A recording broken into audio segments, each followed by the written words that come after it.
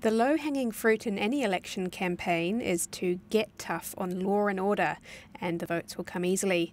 In this week's column, Duncan Garner compares the two major parties' strategies. Duncan, what have you found? Well, I mean, the, the Labour is sticking to, to its guns, which is that um, the current system is working, the wraparound services, um, to slap them with a wet bus ticket. This is youth crime. Um, we don't we don't um, send our young people to jail. We don't we don't put them in lockup.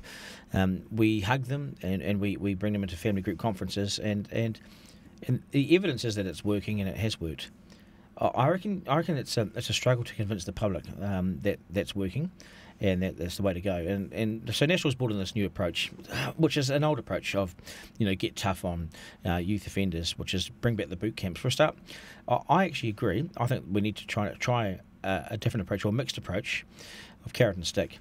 And you, I don't wouldn't turn them boot camps, but you need some kind of correctional um, uh, camp, but more positive, um, like an outward bound, a spirit of adventure, something like that. That says to these kids, right, you need a circuit breaker. You're hanging out with the wrong people. Um, your next step is adult adult jail. We don't want you to go there because you'll turn into a real criminal. So we're going to try and change your life, give you people skills. These kids, we have no idea. They're living in abject poverty being um, surrounded by gang members and bad people, and and um, and they're 10, 12, 11, whatever years of age. So you get them early, take them out of their house, and try and change their lives. It's the minute they go back to that environment, they return to normal. You see, so mm. they return to that, that behaviour again. It needs a circuit breaker. The current system, if you look at it, is just recycling these young kids to go back onto the street again. The police drop them home. They pick them up and drop them home sometimes twice a night. So I'm in favour of trying something. Mm-hmm. There's, it has been tried before these boot camps, mm. and there's evidence that it hasn't actually worked. And mm. for kids that perhaps it did work while they're on the program, mm. like you say, they go home and uh, they're back to their normal activity. So, what would be different this time around? Uh, ch- change the nature of the camps. Don't call them boot camps, and don't don't have them. Uh, just just change your approach to the camps turn them into something more positive that facilitates you know positive thinking and outcomes. And even Sir Peter Gluckman, who wrote a number of the reports on the on the former boot camps, has said it's time to try something else. Maybe maybe try maybe redesign the camps, redesign the approach, bring in role models in a more positive way rather than making them do ten sit-ups every ten minutes, you know that sort of thing. Uh, on an outcome basis, you know, so look for good, look for good outcomes. Try something. The current recycled approach uh, is not working. And if we if we think that we can't design a program that's going to work, then we give up too easily. There's got to be places around the world where it's working, and if it's not, then let's, let's design something ourselves. We've got to try something, because yeah, otherwise we're saying that the current system's working. It's not. Mm-hmm.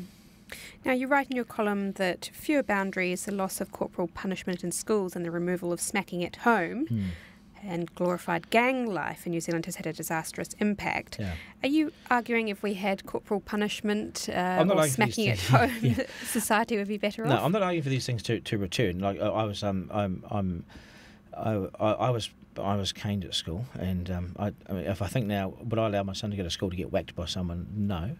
Um, the smacking defence um, that had to get changed, and I support this. I don't, I, am not saying that we need to bring these things back. What I'm saying to all these things that have been taken away, and parents parents haven't, and I'm one of these parents, we haven't been schooled up and. And, and you know we, we learn as we go. We haven't been we haven't been taught or told how to deal with these things losing some of those disciplinary. You know, we were hit as kids. Now we, I don't hit. I've never hit my kids. Um, it's, it's just I just don't do it. Um, so what other ways do I discipline, and how do we do it? It's a, it's a constant battle, and our kids are young, smart, and they work around you, and they know what the rules are, and they're consistently on social media, and they're seeing things that we never saw as kids. You know, they, they have access to an amazing world, an astonishing world, but there are bad things happening in that world. So they see all sorts of things, exposed to all sorts of things. We're a guinea pig generation as parents uh, and we're dealing with it. And so, and our kids have have had few, they've, they've never had so few boundaries in life compared to now. And parents are working double shifts and late shifts and early shifts, and it's just it's life is no longer nine to five white picket fence. Mm. It's that was New Zealand. It's, it's no longer now. And are we coping? How have we coped? And what's been the result?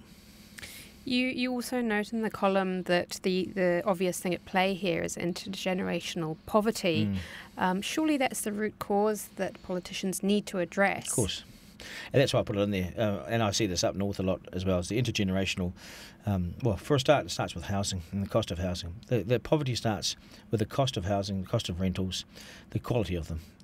Um, it's appalling in New Zealand, and we've we've just we've locked a whole bunch of people out of housing, uh, home ownership, and also um, affordable houses. We don't we don't have them in New Zealand. There's no such thing. So that's where it starts. It leads to poverty, then poverty leads to stresses, and Bob's your uncle. You've got everything else that comes with it. And until you address poverty, uh, I don't think you've really got an answer. You can have the boot camps and you can have all these things around the edges, bollards and things like that, which are all ambulances in the middle or at the bottom of the cliff. If you don't have poverty, then you have so few of the other problems that exist. Poverty drives it, and I'm. If I had the answer to poverty, we'd, we'd have it on the front page yesterday. Um, I don't, but having tax cuts for the upper uh, uh, echelon in society, I don't think addresses the problem.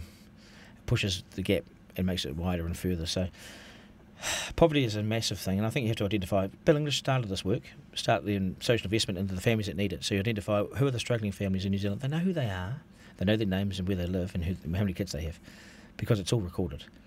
Um, that's why they uplift babies from some of these families. So they know where the struggle is. I think they need to return to that proper, real social investment, which is where the wraparound services are required. And until then, I, I think we're going to struggle. Mm-hmm. Um, it, it's Labour that's coming up with the wraparound services. Hmm, where are they? Are they working? Are they there? I mean, we, we hear of so many shortages in this area of counsellors, of staff, of, of, of, people, and you hear about the, the so-called wraparound services, and I'm just I wonder how effective they are if, if this is what we're seeing.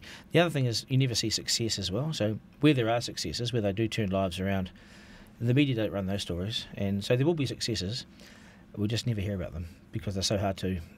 Well, it's, it's, it doesn't. They don't make great news stories, but I actually think they do. Maybe I'm a bit different there. Maybe leaving the parliamentary press gallery has, has widened my widened my sort of look at society. But I think success stories are really important, and the media should should uh, follow more of them. Duncan, thanks for your time. No worries.